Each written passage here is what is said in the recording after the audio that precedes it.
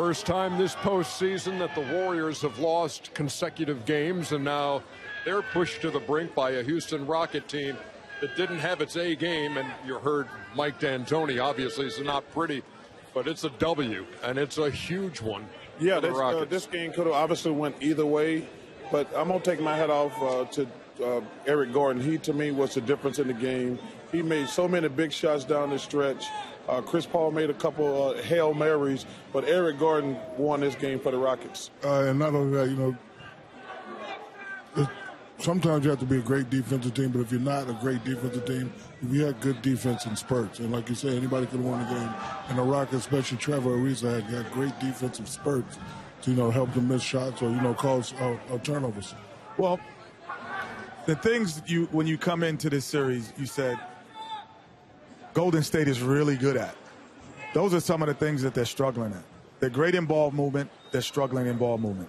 They're great at late game execution. They're struggling Yeah, in late yeah, game composure execution. and poise and Composure that and poise, and they will be able to mul- put multiple guys in multiple positions to succeed, and they have it.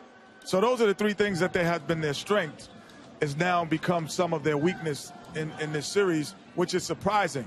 And so now, as the Rockets take the advantage, going back to Oakland, this is a an unbelievable confidence booster for guys like Ariza, uh, Tucker, and Gordon, who will get a lot more opportunities, I think, on the road. I think they'll be possibly ready for that. do you, The- are you real, real quick though, Chuck.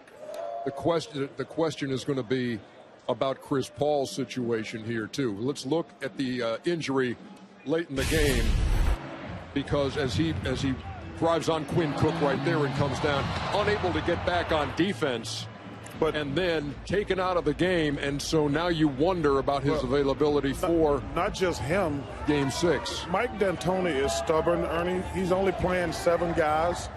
You got to wonder, not just Chris Paul, all those other guys. Now that we're playing every other day, is he going to be able to go four straight games playing seven guys? That's pretty much what he might have to do. I mean, I Yeah, he, uh, he's done that before. and it didn't work. Yeah, true. Uh, and now you got one of your best players who's hurt, maybe. But you know, these games that was great when you had three or four days in between. But now we're playing every other day, and I think even even Steve Kerr realized last game he didn't play a lot of guys. He stretched his bench out tonight. Sure. that might come back to help him in the next game. And if D'Antoni gonna stick to playing seven guys.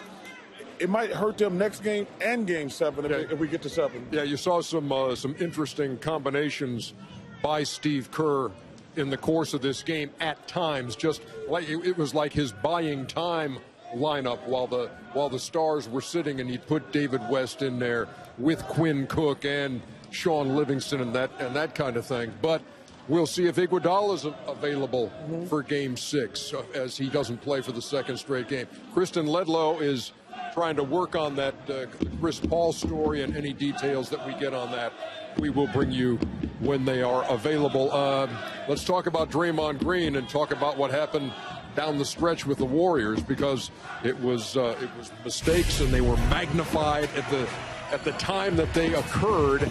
And you're sitting you're sitting right here with a, a four point game that turns into a six point game midway Yeah, there's the still enough time. He, he wasn't sharp, but there's still enough time with six minutes to go. But you know, Here. here, 10 seconds left. just grab it. You get the rebound, you make the pass, and now you Yeah, call but, timeout. but, but that actually he kind of had kind of had to dribble that ball, uh, but He would have probably lost it. But this Yeah. right here, just concentration. he was trying to go too fast. Yeah. Yeah, he was trying to go too fast. Yeah.